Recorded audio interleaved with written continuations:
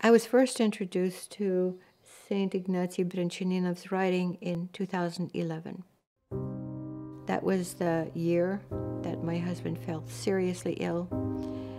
He'd been struggling with heart disease for 36 years. Here's the person who had given me strength most of my life, and now I was in a position where I had to give him strength. I found in Brianchaninov's writing the answers to a lot of very serious universal questions how to deal with illness, how to deal with suffering, how to deal with loved ones who are dying. It felt like he was talking to me. The letters were personal. They were addressed to people in the church, to friends and family, and I felt that there were times when he was addressing the very issues that I was dealing with and that my husband was dealing with. One of the reasons I decided to translate the letters was that I wanted to share what he had to say with my family and friends.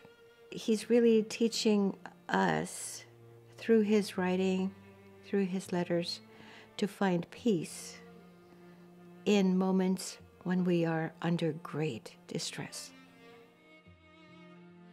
Ignatius Brianchaninov was the oldest son of nine surviving children in an aristocratic family in Russia in the 19th century. The young man very early decided that he wanted a monastic life, but his father and mother did not wish it. He yearned very much for the tender love of his parents, which he did not get. Instead, he spent a lot of time outdoors, and so he uses the natural environment to create analogies, metaphors in his writing. The title, Harbor for Our Hope, was given as a, an extract of one of the quotations. The editors of Holy Trinity Publications keyworded the letters according to certain topics, which makes it all the information highly accessible. In fact, I don't recommend that these letters be read in one or short sitting. You can take your choice, let it uh, percolate, and benefit that way. There was a passage that resonated for me uh, because it not only reflects the title of this collection of letters, but it comes back to the subject of the meaning of our life on earth and, and the meaning of suffering and afflictions. And here he's writing to his brother Peter, who uh, was under some particular strain towards the end of his life. And he writes to Peter, A Christian is like a ship and a Christian life among other men in the world is like sailing a ship on the sea. It's impossible for a ship to enter the shelter of a calm harbor without first undergoing the arduous journey on the high seas. So, what he's saying is we must live, we must struggle, we must suffer before we can enter the quiet harbor of the next world.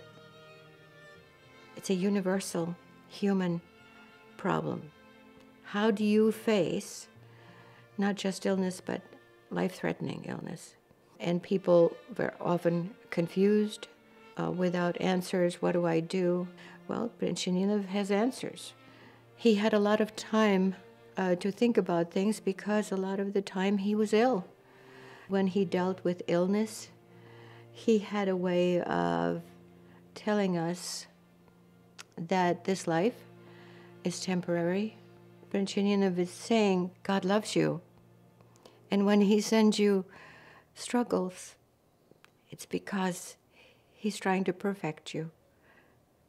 And he, he wants you to be at your best when you come into the next world. Until you submit to the will of our Maker, our Creator, you do not have the strength to bear the suffering that your life will give you. And everybody will suffer to some extent. Everybody is given a cross. And Brianchaninov gives some answers to how to carry that cross.